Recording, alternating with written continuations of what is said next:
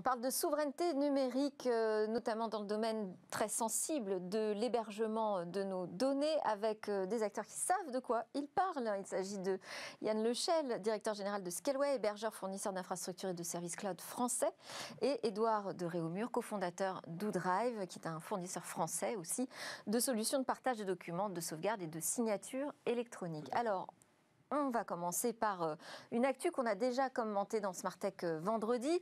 Là, il ne s'agit pas de la commenter, il s'agit vraiment de voir si aujourd'hui on fait fausse route euh, en matière de politique de souveraineté. Ce sont des jeunes développeurs et professionnels du logiciel et du cloud qui ont signé une tribune dans le monde. Ils s'alarment de l'incapacité des pouvoirs publics à faire confiance aux jeunes entreprises de la tech française, avec cette préférence qui irait automatiquement aux, GAFAM. Les signataires, je les cite, Lisa Casino d'Insa Rouen, Cédric le Leninivin de Nexedi, Florimon Manca, qui est euh, développeur open source, et Johan Prigent de Scaleway. Alors Scaleway, ça tombe bien, on a Yann Lechel avec nous. Euh, je disais euh, vendredi, est-ce que cette tribune est née d'une pilule bleue qui a du mal à passer? La tribune est l'expression d'une incompréhension profonde sur les annonces qui ont été faites, parce que les annonces sont composées de, de quelques piliers très cohérents, mais l'ensemble est assez incohérent notamment parce que sont mis en avant des solutions sous licence américaine. Alors cette pilule bleue, on reprécise, hein, c'est euh, en fait euh, une labellisation qui est arrivée très très rapidement, euh, cloud de confiance, d'une alliance qui réunit Capgemini, Orange et Microsoft. Alors par décret presque. un cloud de confiance, ça ne se décrète pas. La confiance, ça se gagne. C'est ce que font précisément les acteurs qui sont ici sur ce plateau depuis des années. Donc euh, l'incompréhension finalement du collectif, que ce soit les jeunes comme les acteurs établis, c'est plutôt euh, cette idée d'hypothéquer notre futur, c'est-à-dire là où se capte la valeur ajoutée, la partie logicielle notamment, que ce soit dans l'infrastructure ou dans l'applicatif. Donc ces, jeunes euh, ont fait écho de cette incompréhension profonde parce que le logiciel, c'est précisément le métier de demain, qui capture la valeur, qui crée des emplois qualifiés. Euh, et en France, on a tout à fait euh, le talent qui permet d'adresser ces problèmes. Alors, on a Edouard de Remur de Woodrive qui peut en parler, puisque euh, Woodrive fait partie des premiers, justement, à avoir obtenu ce label Cloud de confiance. Tout à fait. En fait, je pense que l'incompréhension vient aussi d'un problème sur le terme de souveraineté numérique. Ce terme regroupe deux notions. La notion de protection des data et la notion d'indépendance numérique. La doctrine cloud. L'idéal étant qu'on ait les deux quand même. Exactement. Donc le cloud de confiance ne traite que de la protection. C'est déjà une bonne, une bonne étape. Le gouvernement a pris conscience qu'on ne pouvait pas stocker les données les plus sensibles chez les GAFAM. Donc ils ont mis en place une solution pour protéger les données à la fois d'une attaque technologique type cyberattaque ou d'une attaque qu'on pourrait qualifier de réglementaire, utiliser le Cloud Act ou le Patriot Act pour avoir accès aux données des administrations. Mais la seconde notion, c'est l'indépendance numérique. C'est doter la France d'une filière suffisamment forte pour qu'à terme, on puisse avoir une alternative crédible aux GAFAM. Et quand on regarde l'initiative bleue, ça va à l'encontre de cette indépendance numérique. Et on peut prendre un, exemple historique, l'indépendance énergétique. Dans les années 50, poussé par le général de Gaulle, il a voulu euh, doter la France d'une indépendance énergétique. À l'époque, les Américains étaient en avance sur leur recherche dans le nucléaire. Est-ce que vous imaginez le général de Gaulle dire, ben voilà, pour les centrales nucléaires, la France va se contenter de fournir l'infrastructure, mais pour le réacteur, on va faire appel à nos amis américains. Ça aurait été impensable. Eh bien, bleu, c'est un petit peu similaire à ça. C'est-à-dire qu'il faut qu'on puisse maîtriser l'ensemble. Vous pu signer donc cette tribune? On aurait pu la signer. Alors nous, on est, on est en phase avec le gouvernement sur la doctrine cloud. Simplement, elle est incomplète. Il leur a fallu aller plus loin et tenir compte à moyen terme de l'importance de la filière. Il y a un problème avec euh, ce label, quand même, ce label cloud de confiance aujourd'hui, Yann Lechel Alors, le Secnum Cloud est une qualification de l'ANSI qui est tout à fait pertinente, puisque tous les acteurs qui Donc vont. Il adresse la question de la sécurité. Tout à fait. Euh, et euh, en matière de cybersécurité, tous les acteurs peuvent bénéficier d'une amélioration de service. C'est un besoin collectif pour nos données sensibles, tout à fait. Donc l'ANSI a fait son travail. Euh, l'administration a fait son travail, mais l'annonce dans l'ensemble mélange les styles. La notion de cloud de confiance essaye de faire trop rapidement un amalgame de concepts, un concept cyber, un concept légal et un concept régional. Moi, ce qui m'inquiète, c'est l'aspect glissant au niveau économique. C'est-à-dire que si l'on part du principe que la valeur est dans le logiciel, alors si on est véritablement volontaire dans la création d'une industrie du logiciel et du numérique, alors il faut se poser les, les questions par rapport à la base et non pas par rapport à une solution hypothétique qui s'appellerait bleu euh, qui répondrait à tous ces, tous ces besoins. Mais alors, ce que disent quand même les jeunes, pour euh, insister sur cette histoire de, label cloud de confiance, ce que disent les, jeunes dans la tribune, c'est qu'il euh, y a une lourdeur qui fait que ça ne favoriserait pas la labellisation des acteurs français, une lourdeur et puis un délai aussi de migration très court qui est de, de 12 mois. Pourtant, on a un exemple d'obtention française de ce label. C'est vrai que c'est très long. Nous, on a été les premiers à obtenir ce label. On a essuyé les plats. Non, c'est relatif. Ça a été rapide pour vous finalement. Ah non, on a travaillé trois ans sur le sujet. Ah. Non, non, non. c'est très long. Par contre, ce qu'il faut retenir, c'est que le cloud de confiance est destiné à traiter des données les plus sensibles. Donc, ça ne prend pas tout le marché. Mais dès lors qu'on parle de données sensibles, c'est vrai qu'il faut des garanties. Il faut une garantie, il faut un tiers de confiance qui valide que la solution qui héberge les données sensibles soit suffisamment robuste pour, pour résister à un maximum de cyberattaques. Et pour ça, pas, le simple fait d'être français n'est pas suffisant. Donc il faut un tiers de confiance qui est notamment pour le gouvernement l'ANSI, qui donne un tampon en disant cette solution est adéquate pour ce type de données. Donc oui, c'est long, mais derrière, il y a un marché, donc le jeu en vaut la chandelle. Ça vous semble justifié? Il faut effectivement qu'il y ait un C'est pas une lourdeur, c'est une précaution alors. Alors, c'est voilà, c'est euh, long, il faut investir, mais ça vaut le coup.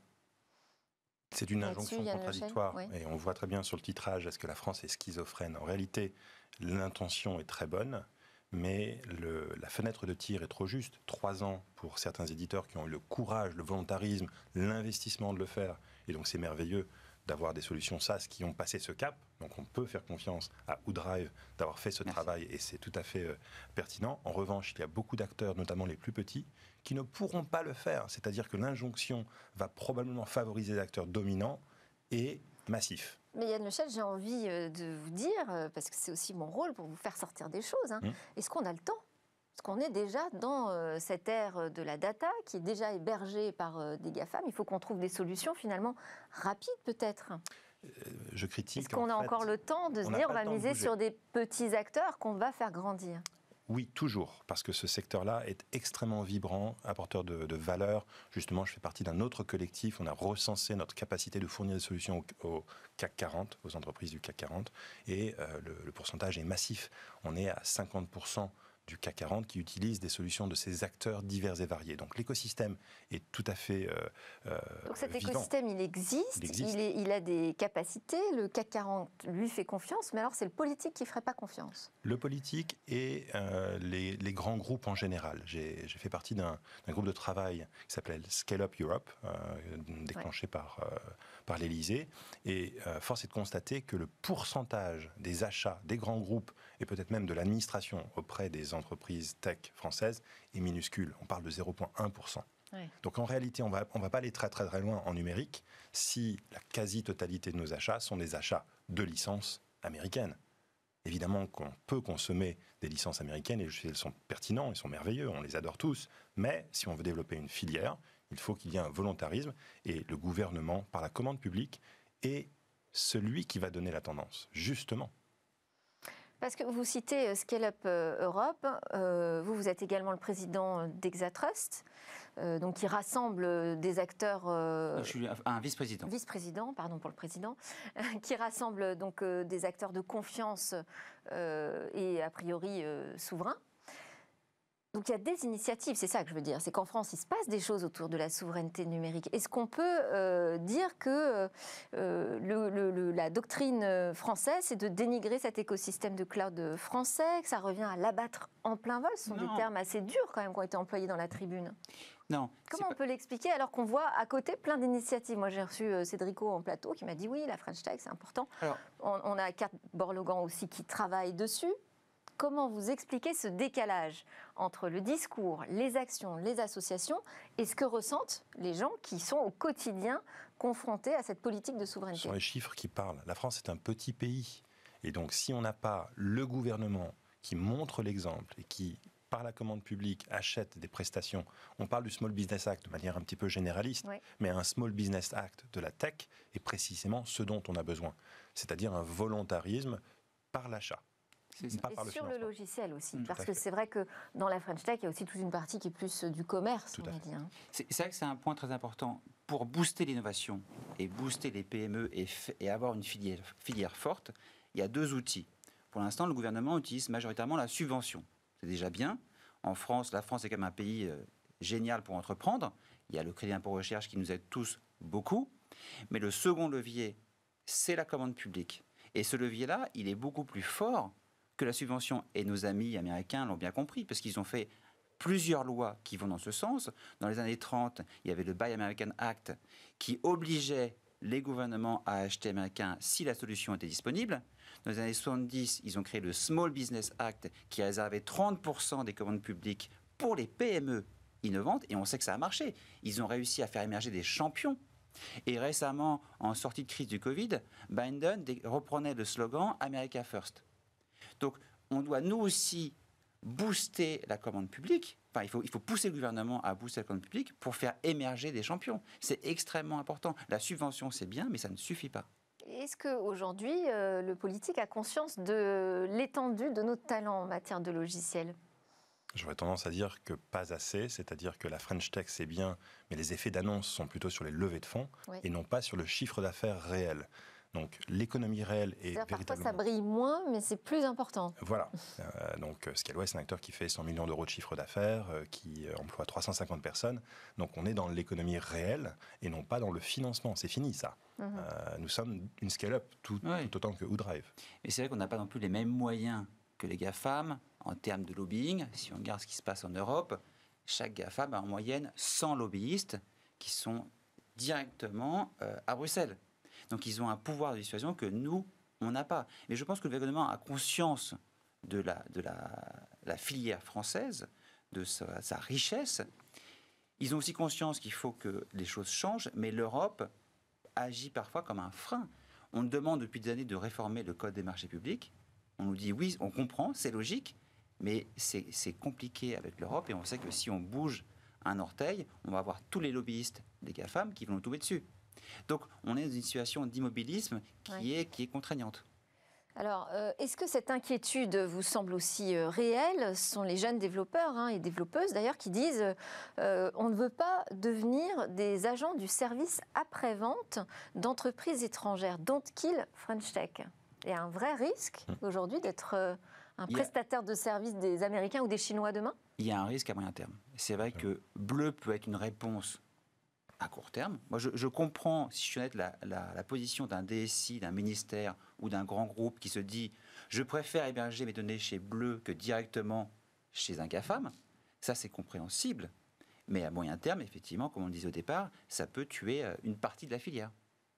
Et c'est Michel notamment cette partie de valeur ajoutée, c'est-à-dire que si on n'est plus que l'opérateur d'une solution américaine, alors l'emploi qualifié tombe, Oui. il meurt. Donc quand on parle de French Tech, est-ce qu'on parle de la partie e-commerce applicative ou est-ce qu'on parle véritablement de la technologie C'est ambigu. Donc je pense qu'on pourrait peut-être se poser la question sur la French Tech. Qu'est-ce que c'est que la French Tech et qu'est-ce qu'on veut d'elle pour nos enfants c'est- d'ailleurs euh, Daniel Glasman qui disait en plateau, on l'a revu dans le zapping de Smartech, euh, euh, au moins une entreprise technologique qui reste du code, il y a une vraie valeur euh, aujourd'hui. Alors, et ces talents, ces jeunes talents du logiciel français, ils sont en train de partir, ils sont recrutés par euh, les puissances étrangères aussi. C'est ce que faut- vous constatez, c'est dur de recruter des bons aujourd'hui pour une entreprise française Alors ça change, hein. on, on sent que euh, les, les générations euh, Z, euh, les millennials, euh, cherchent aussi du sens. Oui. Donc on voit aussi un retour, on voit aussi des gens qui reviennent des États-Unis et qui cherchent des entreprises, non pas à mission, mais des entreprises qui euh, euh, se, positionnent clairement dans la société, sur, un projet de société. Euh, chez Scaleway, on veut créer non pas une alternative aux Américains, mais une réponse régionale.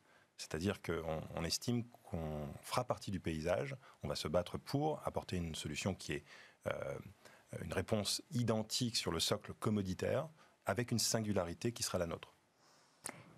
Là-dessus, sur euh, les talents, euh, plus ou moins difficiles euh, à garder sur le sol français Alors, la nouvelle génération, effectivement, a, a d'autres critères de sélection quand ils cherchent un, emploi. Auparavant, le, le salaire était un, élé- un élément dominant et les Américains avaient bien compris que c'était un- pour eux un levier, notamment grâce au crédit d'impôt recherche en France qui permet de déduire une partie du coût d'un développeur quand il fait de la R&D.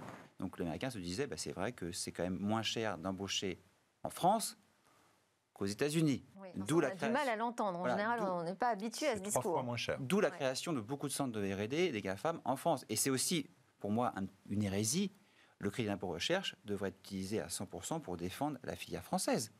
L'utiliser pour défendre des compétiteurs étrangers, c'est une hérésie. Alors, quand on en parle au gouvernement, ils nous disent oui, mais ça crée de l'emploi. Et là, on leur répond, mais en fait, on n'a pas besoin de créer de l'emploi. Dans ce secteur, on manque de ressources, on manque de talents. Donc là, on se tire une double balle dans le pied.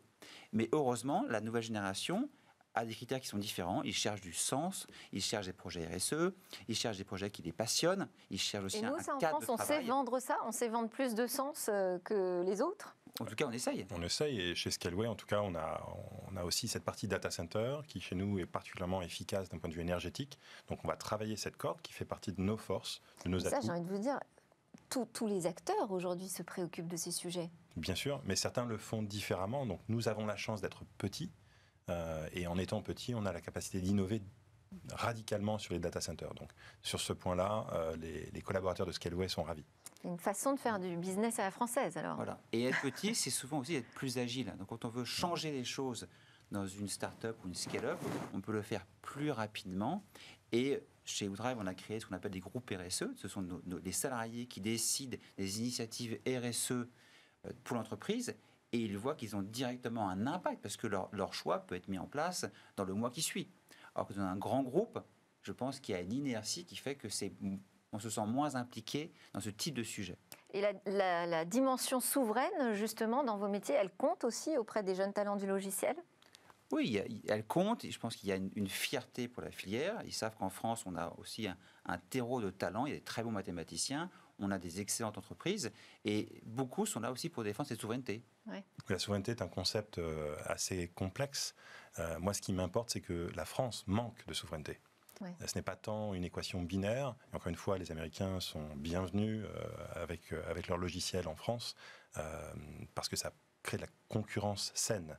Ce qui ne va pas, c'est le manque d'indépendance, le manque de souveraineté, la polarisation du marché, la captation de la, quasi-totalité de la valeur. Ça, ce n'est pas bon. Alors, les signataires, ils demandent un plan de développement et de déploiement du cloud à base de technologies libres. D'abord, je voulais qu'on s'arrête sur cette partie. Pourquoi des technos libres? Bah, la technologie libre euh, fait partie de l'écosystème. De, nombreuses solutions cloud sont construites sur du libre. Euh, et donc, il faut lui laisser sa place puisqu'elle permet justement d'égaliser le terrain de jeu. Donc, si on s'appuie sur du libre et non pas sur des licences. On part tous avec les mêmes outils, c'est ça Pour une base, pour une partie. Et on peut créer de la valeur en maîtrise. Donc, le libre offre de la souveraineté. Et c'est aussi là où on a une valeur forte en Europe sur le libre, sur les techno libres on en, a, on a une valeur forte sur le libre. Il y a beaucoup d'initiatives qui sont, qui sont excellentes en France sur le libre. Et c'est vrai que ça plaît beaucoup aux jeunes parce qu'il y a un côté d'aider la communauté, un côté entraide qui euh, a beaucoup de résonance chez la nouvelle génération. Alors aussi, donc préférentiellement européennes, hein, ces, ces, technologies, bon ça on peut, on peut l'imaginer, accompagnées d'objectifs et de points d'étape clairs. On manque de visibilité donc visiblement. Ah, Pourtant, là, on peut dire, justement, il y a un label, cloud de confiance, avec des échéances. C'est vrai que parfois, ça peut être un peu flou. On sait que chaque ministère et chaque administration fait ce qu'ils veulent. ce qu'a annoncé le gouvernement, c'est une doctrine, ce n'est pas une loi. Donc, c'est une direction. Est-ce qu'elle va être suivie par l'ensemble des administrations C'est une question qu'on peut se poser. Bon, eh ben, on va s'arrêter là, parce que malheureusement, on arrive euh, au terme de notre débat. De toute façon, on continue à en parler ensemble. Merci beaucoup euh, d'être venu, euh, d'être venu, Édouard de Réaumur, donc cofondateur de Woodrive, et Yann Lechel, directeur général de Scaleway. Juste après la pause, on part faire une incursion dans le domaine du jeu avec la chronique Game Business.